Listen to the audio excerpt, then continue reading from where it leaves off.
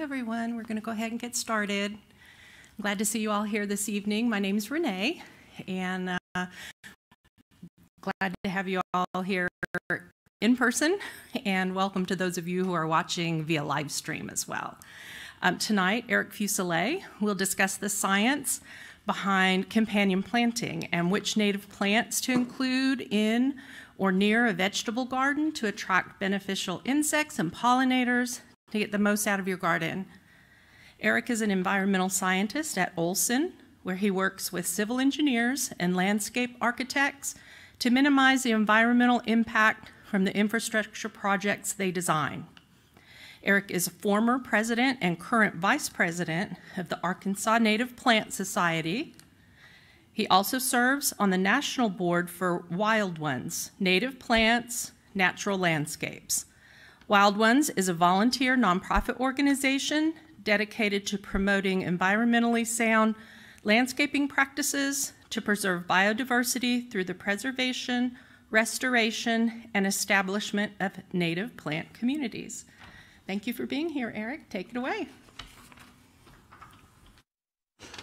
All right, thank you, Renee. Appreciate that introduction. Uh, thank you all for being here. Looking forward to discussing a topic that uh, haven't previously given a program on before, uh, so I had to do some research to kind of learn a lot about this particular topic myself. Um, will I get any feedback if this is on? Or it sounds like maybe the mic has been, okay, good. All right. Um, yeah, and just uh, to kind of give a little caveat here, I am a plant person. I am not as much of an insect person, so I won't be able to answer a ton of questions when it comes to the insects. Uh, but um, I'm relying heavily on the research uh, conducted by two different individuals uh, here, uh, which I'll talk about uh, as we go through the presentation.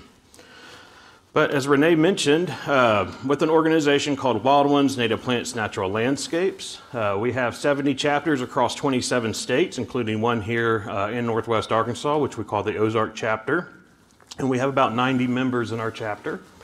Um, I'll tell you here in a little bit how you can join if you happen to be interested. Oh, gotta turn on my uh, clicker. All right. Uh, we offer monthly educational programming, uh, typically on the first Thursdays of each month. Uh, when we have our um, inside indoor programming, we try to schedule that, those at the uh, Springdale Public Library. Uh, we do have them from 11:30 to 1 p.m. it's 11:30 to noon is going to be a social hour, and then noon to 1 is when we have our, uh, uh, whoever the, the, topic of the month is. Uh, in May, though, we will be uh, on the first Thursday of the month from 11.30 to 1, we'll be visiting Compton Gardens in Bentonville, so feel free to come out and join us. These are free and open to the public. We also have a quarterly journal. Uh, you can access this uh, for free. You don't have to be a member. And we also have a site visit committee. You can go to our website um, and request, fill out a form, and somebody will come out to your place, spend about an hour with you trying to uh, determine what native plants would go well uh, in a particular part of your yard. Uh, this has been our most successful program. Uh, we've helped out, oh, I don't know, probably you know more than 50 or 60 different residents in Northwest Arkansas. Um, it's just helping them get their native plants established and uh, getting them started in direction to go in. And that is a free service that we offer. And if you're interested in joining our chapter or the organization, if you're watching, watching this on the internet and you want to find out if there's a chapter near you, just go to members.wildones.org slash join. And you can join online. Uh, there's a, a, scale on the fees, so um, you can join for as low as $25 for those who are on limited income um, or you know fixed income. So, all right. So let's get to the topic of the day, companion planting. What is companion planting? Uh, this refers to planting different species in proximity to each other for any variety of reasons. This could be for pest control, pollination, uh, providing habitat for beneficial insects, maximizing use of space, or to otherwise increase crop productivity. Uh, the two that we're going to be focusing more on in this talk will be pest control and pollination services for uh, vegetable and fruit gardens. But just to kind of give an example of the Three Sisters, many people probably heard of this. Uh, this is, was a common uh, form of companion planting for uh, efficient use of space that the, uh, certain Native American tribes would employ, where they would use corn, squash, and beans as a trellis for the beans to climb up. Uh, the squash grew around the bottom of the corn stalks, and um, this, um, yeah, it's a form more of a less of a. I mean, these species, of course,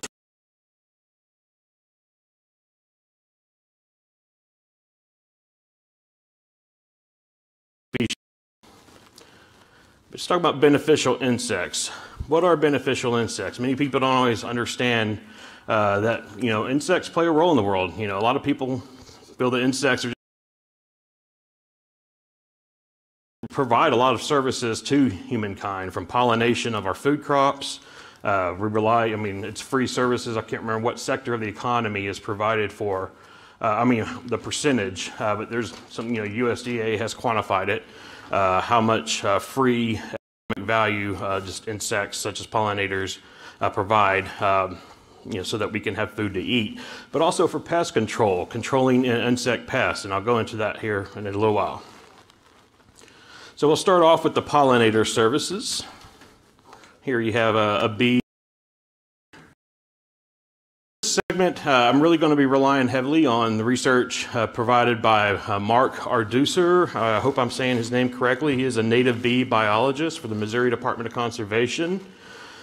And he has provided some research and did a little write up uh, for Grow Native, uh, native plants. Um, it's another, uh, the education wing of the um, Missouri Prairie Foundation. But yeah, I'm relying heavily on this. Um, what he published here. Kind of put it in, into a presentation format. So if you're interested in going straight to get this information, go to grownative.org. Uh, you can poke around on there and find resources. So according to Mark, uh, we depend on pollinators for most of the vegetables and fruits that we enjoy from farms and our own gardens. Uh, by transferring pollen from the flowers of the same species of fruits and vegetables, fertilization occurs and makes fruit and seed development possible. So non-native honeybees, while they are important uh, for pollinating many of our food crops, we also have many native species of bees um, that are also significant as pollinators as well. Uh, for example, squash bees are vital, vital for squash flower pollination. Uh, native bees not only need nectar and pollen from fruit and vegetable flowers, but also from many native flowers as well. So you can help support the native bees and other pollinators by planting a variety of native wildflowers and native flowering shrubs and trees, including close to your vegetable garden. You're going to bring in, attract certain native bee species uh, with your, uh, by providing the, the, species they like.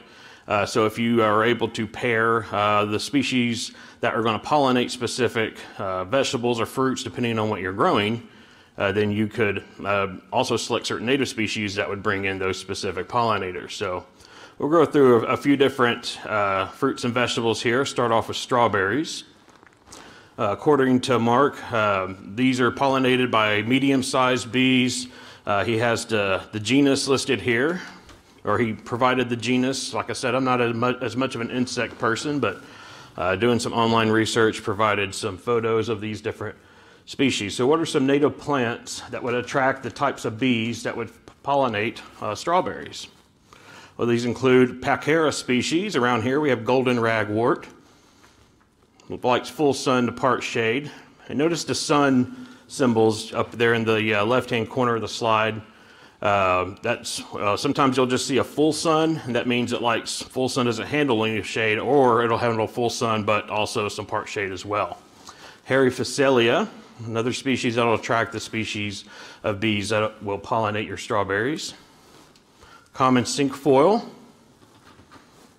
This is a, a sprawling plant, would make great ground cover. Does not get very tall. Uh, pale beard tongue. And I also want to say that I'm more than happy to share these slides with anyone after the talk. So if you, if you don't feel like you have to write everything down, if you, if, you know, we can share my email with you and we can swap slides. Wild hyacinth. It's, uh, it's blooming currently. New Jersey tea. It's a great shrub. You can also use the leaves of this plant uh, to make tea. It does not contain caffeine though. Golden Alexander.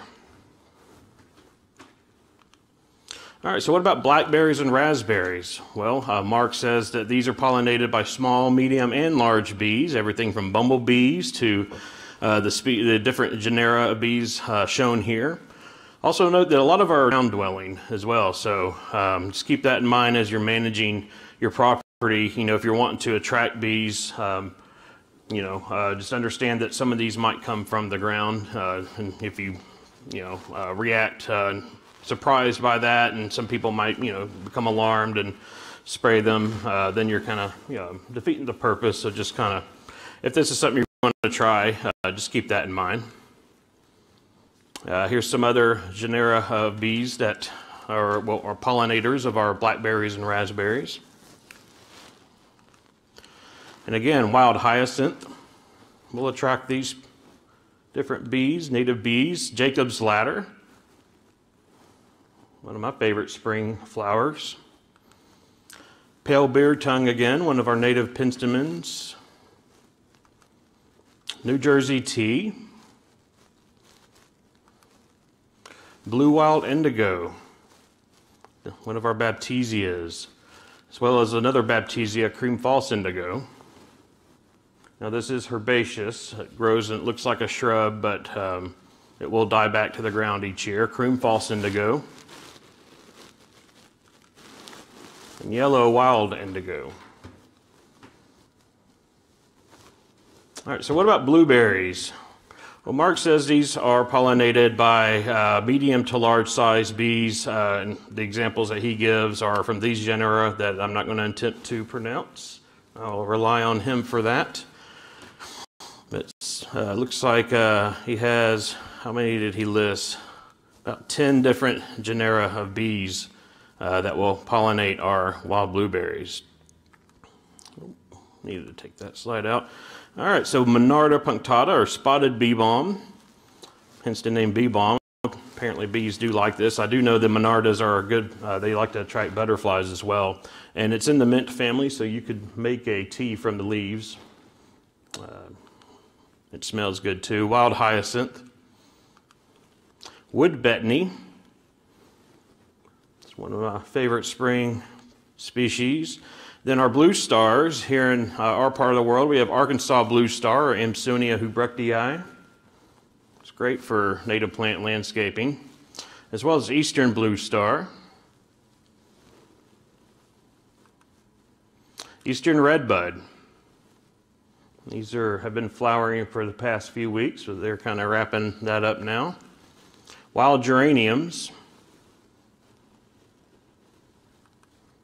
All right, so what about tomatoes? Well, again, these have these yellow flowers uh, that attract medium to large size bees.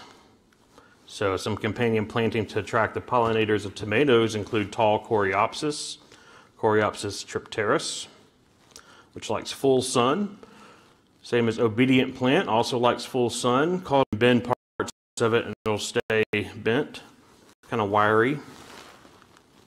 Germander also likes full sun. Foxglove beard tongue. It's one of my favorite beard tongues. There's a false stamen inside the flower uh, that has these uh, little hairy looking things on there, like a hairy tongue, hence the name beard tongue. But, you know, whenever I've had a rough day, sometimes I like to go out to my garden and look at those, and it just gives me a chuckle. So, I don't know why. Purple prairie clover, Dalea purpurea, also likes full sun.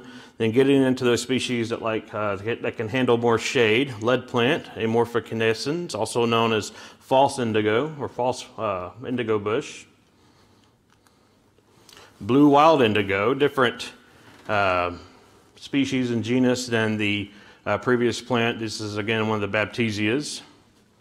Wild bergamot, another Monarda, uh, called wild bergamot because uh, you can mix the leaves with uh, black tea uh, to make your own bergamot tea. Has a you know an orange citrusy kind of scent to it. Uh, it's in the mint family, and same genus as uh, that spotted bee balm. Pale purple coneflower. All right, so about peppers. Medium to large bees, according to Mark. Some of those different genuses or genera of medium to large bees that help pollinate peppers. So again, tall coreopsis, Mark says, will attract these specific genera of bees, as well as obedient plant. Again, that foxglove beard tongue. Germander. Purple prairie clover. Blue. Lead plant, again. Wild bergamot. Purple cone flower. And some of these you're going to see listed over and over again. And what I want you to take from some of that is, you know, that that's a species that's pretty beneficial for a variety of different uh, vegetables and fruits. So what about eggplant? Bumblebees, um, Lasioglossum and Augochloropsis, according to Mark, are the uh, native bees that pollinate eggplants.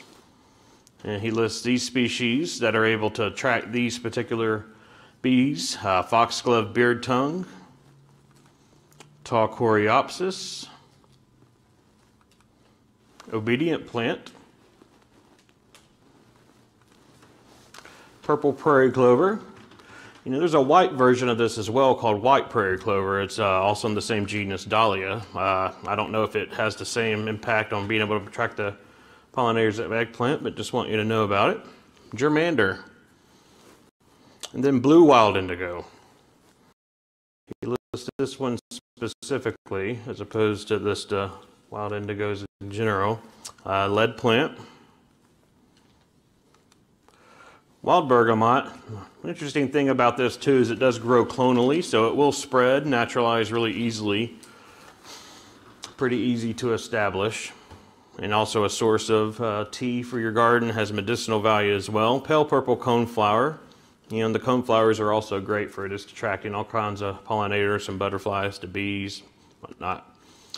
All right, so what about green beans? Well, Mark lists two different uh, types of bees that will pollinate our green beans, bumblebees, and I can only assume that that is Mega Chili, which is sounds like a really awesome band name, but I don't know. I'm sure it's pronounced differently than that. But common milkweed will attract these two species. Full sun, prairie blazing star, also likes full sun. Uh, this is a photo I took out at uh, Searles Prairie in Rogers uh, a few years ago in July. Uh, especially years after they've done a burn on that prairie, it's, you know, that blazing star comes back and it's beautiful. Germander. Butterfly milkweed, or as Doug Tallamy calls it, monarch's delight. He, he mentions how, you know, in the native plant landscaping community, we, some of our plants have the name weed in it and makes people think, oh, you don't want that. A weed's like a plant you don't want growing. So he's trying to rebrand this one Monarch's Delight. He, you know, that kind of describes a little more about what your, what that plant, what, what function it has ecologically. And again, we have purple prairie clover. And then getting into some more shade tolerant, uh, we'll handle shade as well. These wild bergamot, and lead plant. All right, so about squash, zucchini, and melons.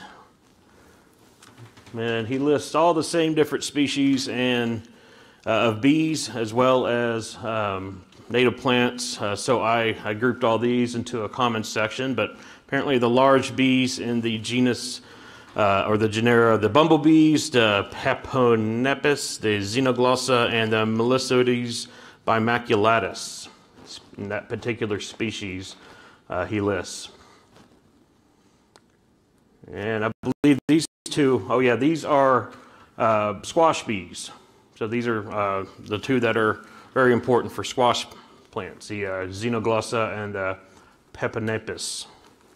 I don't know if I said that right, but uh, full sun is our common sunflower, Helianthus annuus. This is a native, and you know the served as the you know straight species that a lot of our cultivated sunflower varieties was pulled from. It does grow native here in the Ozarks. Uh, this photo I took down in Texas. Iris, or tall coreopsis, germander, Monarch's Delight, Purple Prairie Clover. Just kind of be thinking if you're growing any of these garden vegetables, you know, maybe consider adding some of these native species nearby to bring in some of the pollinators. Tall thistle, it's one of our native thistles. You can usually tell our native thistles from the non-native by the underside of the leaf will be white. Uh, and also the little spiny parts are a little more flexible and less pokey, so it's much friendlier than the non-native Rus Russian musk thistle. Wild bergamot, lead plant. All right, so what about cucumbers? Medium to large bees, according to Mark, uh, with a variety of different genera that uh, will pollinate these cucumbers. And if we want to attract these bees, we can use uh, common sunflower. Again, tall coreopsis. Seeing some familiar species. Common milkweed. Monarch's Delight. Germander. Pale purple clover. Again, our, one of our native thistles, tall thistle, Cirsium altissimum. Mon, uh, wild bergamot, Monarda fistulosa. Lead plant. All right, and finally okra. Uh, medium to large bees. Uh, he lists uh, two specific species, this Melissodes bimaculatus, as well as the uh, Ptilothrix bombiformis and the bumblebees. Uh, I'd like to point out that uh, okra is in the mallow family. You can tell by the, the type of flower. Has this uh, part in here that, uh, with all the stamens, uh, that kind of comes up like that. As well as if you take the flower petals, rub between your, you know, gets that mucilaginous feeling, kind of gets slimy. Uh, that's why uh, some people add okra as a soup thickener. It's used in gumbo often. Some people use prefer okra to gumbo filet, which is sassafras, which has the same emulsive type property. I prefer the filet to the okra. I like okra, I just don't like it in my gumbo. So it's kind of no surprise that he mentions the our native hibiscuses uh, as being that will attract the pollinators for wild okra, because uh, these are in the same mallow family. Uh, here we have rose mallow, and keep in mind, uh, rose mallow and especially swamp mallow are going to require uh, a lot of soil moisture, so keep it watered. Uh, this would, swamp mallow, you know, you're probably going to have an easier time growing it along the edge of a pond or in an aquascape kind of situation. Common sunflower, tall coreopsis, common milkweed, prairie blazing star. Then he mentions the ironweeds, which is these are some you know flowers. They tend to go to the summer, last half of summer. Uh, around here we have western ironweed or Vernonia baldwinii, Missouri ironweed, and giant ironweed. These are going to be the ones that you'll see in our part of the country uh, giant ironweed. Between uh, the ironweeds, giant ironweed is going to be able to handle some partial shade, as well as tall thistle. All right, so what about pest control? This part of the presentation, I'm going to rely heavily on the research uh, published by Heather Holm. Uh, Heather is a biologist and award-winning author, uh, pollinator conservationist, and also the author of Pollinators of Native Plants, as well as a field guide on bees and another one her most recently published on wasps of eastern North America. Um, Heather's expertise includes interactions between native pollinators and native plants and the natural history and biology of native bees and predatory wasps occur occurring within the Midwest and Northeast. She is also an honorary director of the National Wild Ones Organization. Uh, she lends her expertise to us when we're kind of developing our organization's policy. Kind of talk about a few garden pests, uh, some of the more common ones. It's good to kind of be able to learn how to identify these. Uh, leaf hoppers, uh, these uh, are in the family uh. I believe it is because they look similar to cicadas. Uh, they are pests on most fruits and vegetables, and they feed on plant sap. Aphids, uh, these come in a variety of colors. They can be white, black, brown, gray, yellow, light green, and even pink. Uh, small, soft-bodied insects, they suck the nutrient-rich liquids out of plants, uh, and on large numbers, they can weaken plants significantly. Uh, they multiply quickly. You can have several different generations during a summer. Uh, Lygus, a certain genera or genus of um, insects, Lygus. Uh, these feed on strawberries and a number of vegetable crops and cause, cause serious damage to fruit orchards. Uh, thrips, this is a certain order uh, within the insect um, world, so they can be pests on onions, chives, and figs. White flies, pests on tomatoes, bell peppers, eggplants, okras, sweet potato, and cabbage. Uh, tend to feed on new growth, uh, and eggs are laid on the underside of leaves, so that could be a place to check for these eggs you see here in this photo. So, and that's just, you know, a brief list of common garden pests. Um, so, some beneficial insects that provide pest control by uh, consuming these insects, either their eggs, their larvae, or even parasitizing them. We'll go through through these. Uh, green lacewings, if there's going to be a, uh, a particular uh, beneficial insect for pest control, uh, the lacewings, they, they hit a lot of different insect pests. So this is one to remember. Aphids, beetle larvae, caterpillars, earwigs, uh, bugs, mites, soft scale, all kinds of things in addition to the the species uh, we talked about briefly before, but the eggs laid on, uh, they lay their eggs on long stalks attached to plants. Uh, then we have two different kinds, or uh, two different families. We have the green lacewings in the family Chrysopidae, and then the brown lacewings, different family. This one targets a fewer number of pests. And if we're wanting to attract these particular uh, species uh, to, for to serve as pest control in our gardens, Heather mentions that we can grow common yarrow, which prefers full sun, has this uh, feathery like leaf.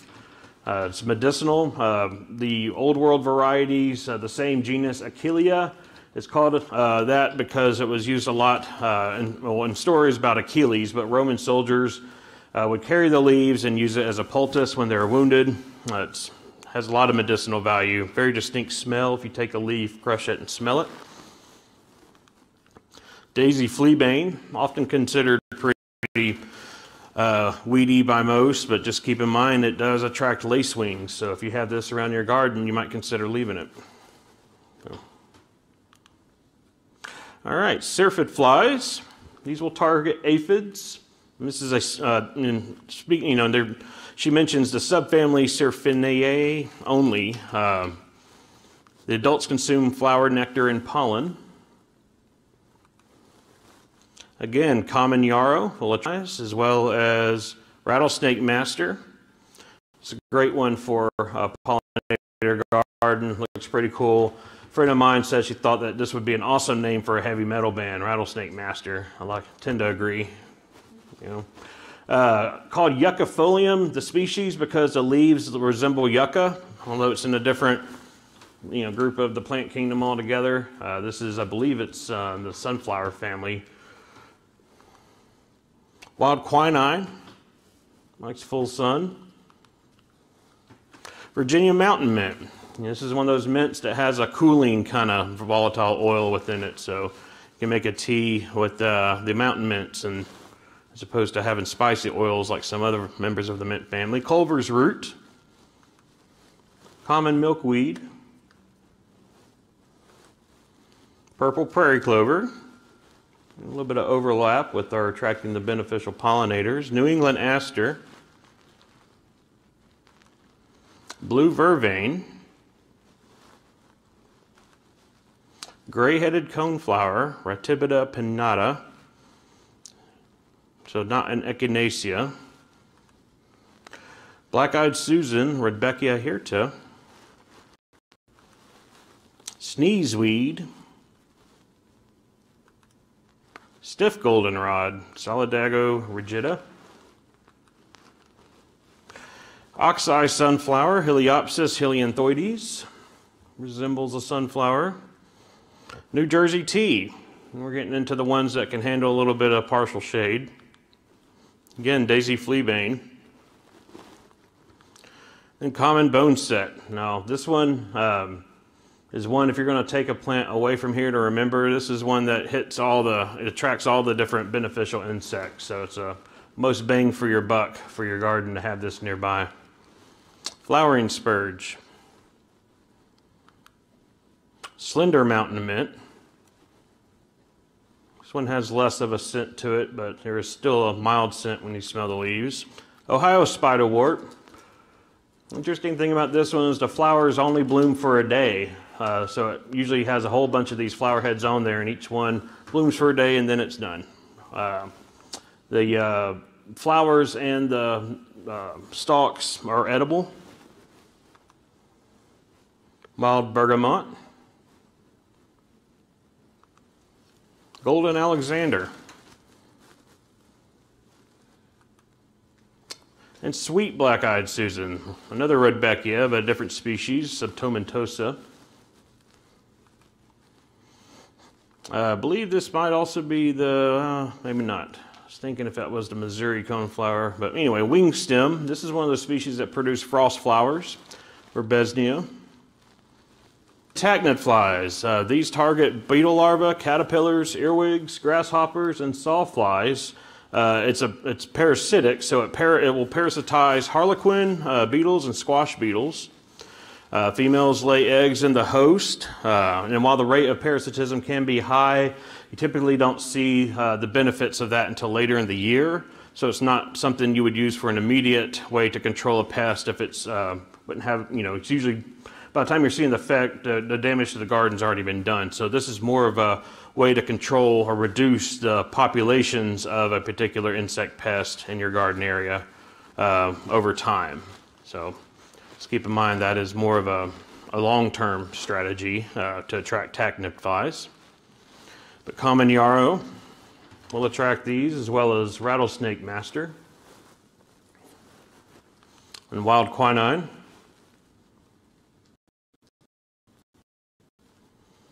Virginia mountain mint, Culver's root, common milkweed,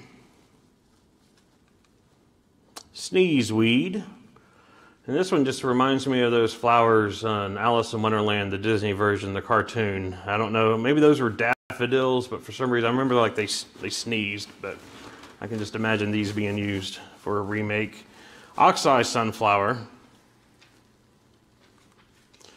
Ratibida pinnata, that gray-headed coneflower. Black-eyed Susan. Stiff goldenrod, Solidago rigida. Blue vervain. Daisy fleabane. moving into the species that can handle some partial shade. Some common bone set. Again, Eupatorium perfoliatum. Flowering spurge, this is one of our native euphorbias. Sweet black-eyed Susan again. New Jersey tea, and this got its name New Jersey tea because back when the American colonialists were boycotting British tea, they were using this plant as a tea substitute. Now it does not contain caffeine, so I'd imagine they had some caffeine withdrawal, but that's just how it got its common name. We do have a, a, native species that does contain caffeine. It doesn't grow here in the Ozarks, but it grows in southern Arkansas called Yaupon holly, or Ilex vomitoria. Uh, it was given, the story behind the species name vomitoria was more of a way to market. Um, it was chosen by somebody who had, my, or at least what I've been told, uh, who had some stake in the Dutch Indian Trading Company. And so they're trying to discourage people from drinking uh, Yaupon holly tea for caffeine because, you know, it grew all over the place here. Uh, so that they would buy black tea uh, from the Dutch Indian Trading Company. Um, it was so a botanist decided to name it Ilex vomitoria because the natives would use it in a drink mixture uh, that they would use ceremonially uh, that would cause vomiting. It wasn't necessarily the yaupon holly that was causing the vomiting, but it was as part of uh, the experience. I don't know what all was in the mixture, but you know maybe similar to like a you know at least a vomiting would be a similar element to like the ayahuasca ceremonies in South America, but without knowing what was in the drink, couldn't tell you what was causing that. Slender Mountain Mint. All right, and soldier beetles. If you see any of these, uh, they're good to have. They'll take care of aphids. Uh, especially, um, I notice these on my goldenrods in my garden each year. Uh, first, I'll see aphids, and they'll just cover my goldenrods. And then uh, just give it time, and ladybugs and these things will move in, and they'll just eat up the aphids. So keep in mind, uh, it takes time, so it's not going to be immediate, but uh, it will take care of those pests. Beetle larvae, caterpillars. Uh, the larvae of these soldier beetles search for prey and leaf litter on plants and in the soil. So they're down there looking for the things that might get in your garden.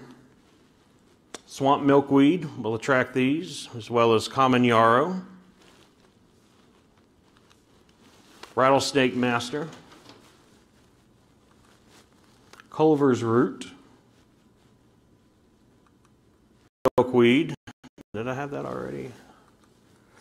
Um, purple prairie clover. I think that was swamp milkweed. Again, sneezeweed. Oxeye sunflower.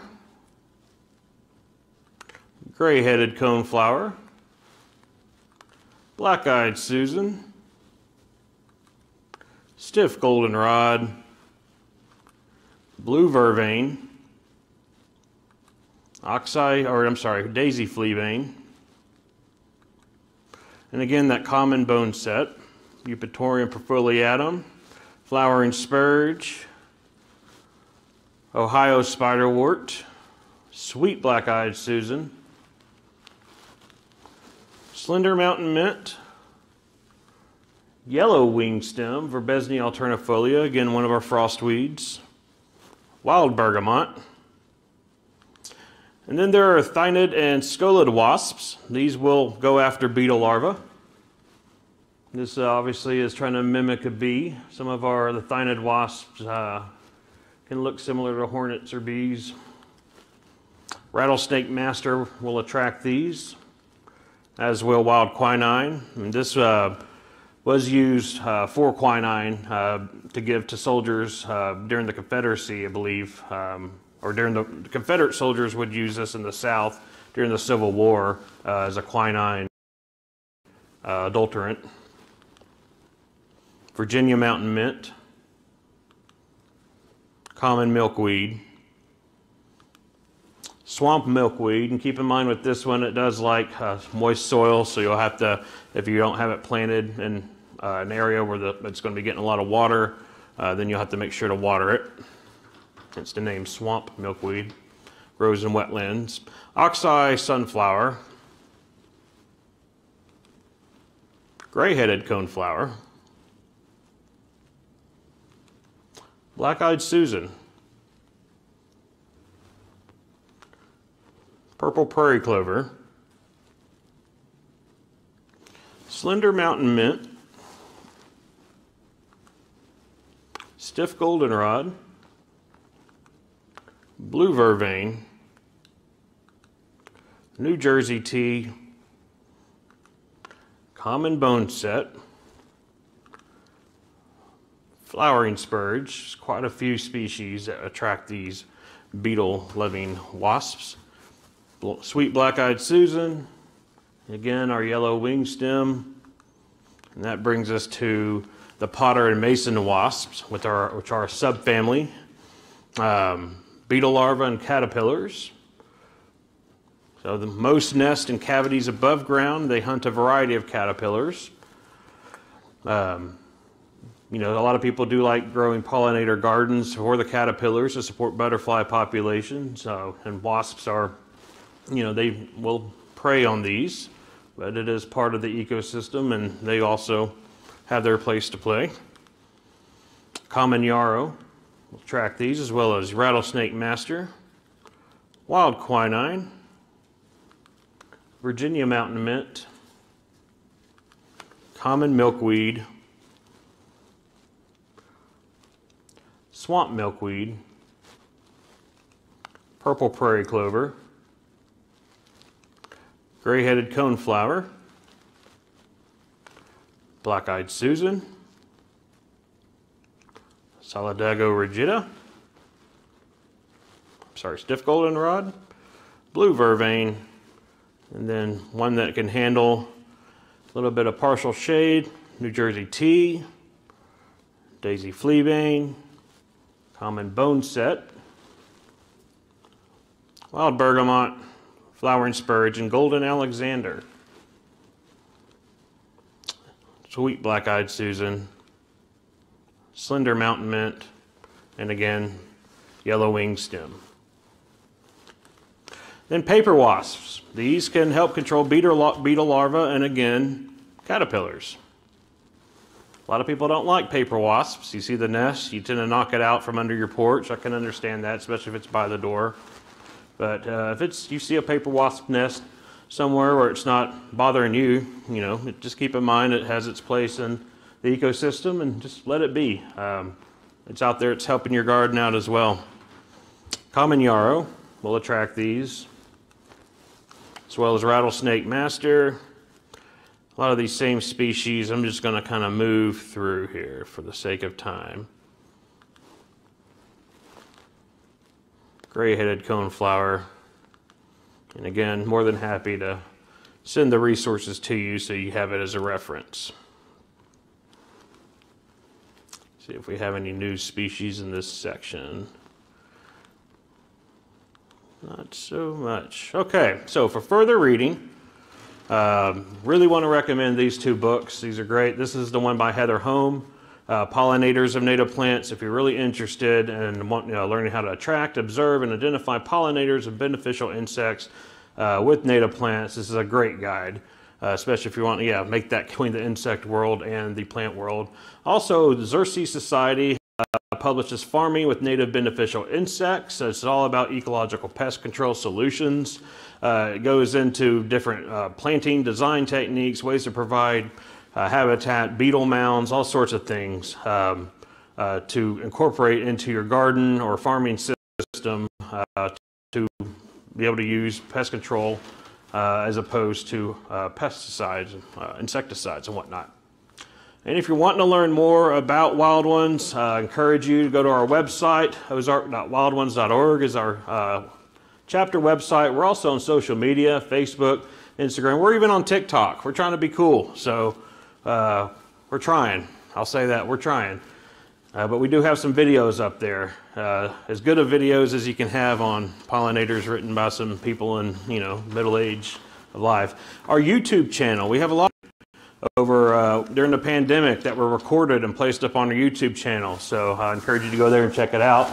If you want to send an email to Wild Ones Ozark Chapter at gmail.com, I'll be happy to send you the slides for this program as well as uh, their information, uh, the Grow Native flyer, all that sort of stuff.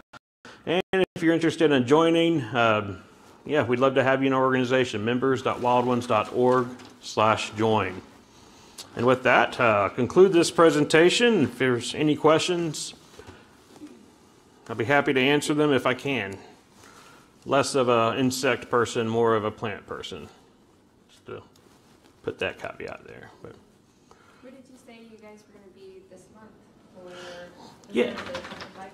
Yeah, uh, it'll be yeah in May. The first Thursday will be at Compton Gardens in Bentonville. So the grounds manager, a horticulturalist supervisor there is going to be giving us a tour, uh, kind of talking about some uh, op- uh, opportunities to help out out there. So they're always looking for volunteers. If you're wanting to learn more about landscaping with native plants, they'll let you come help their you know their crew out there, and you can get some experience. So, any other questions? All right. Well, thank you for coming. Oh yes, yes. How do you spell the name of that tea that's from southern Arkansas. Oh. Yaupon, Y-A-U-P-O-N. Thank you. Yep, and the scientific name Ilex, I-L-E-X. It's a genus uh, species Vomitoria, V-O, like vomit, V-O-M-I-T-O-R-I-A, I believe. So, yep. Yes, sir. So, um, how, how can we access this, um, these slides and stuff at our house? Uh, I'll, I could send it to you as a PDF. If, if you open it up on a computer, I believe this was also recorded, and you can uh, view it on uh, Fayetteville Public Library's YouTube channel. I think they put it on Vime- Vimeo also if you want to rewatch it. Uh, but yeah, happy to send you the slides as a PDF. All right, thank you all for being here, and we'll we'll see you.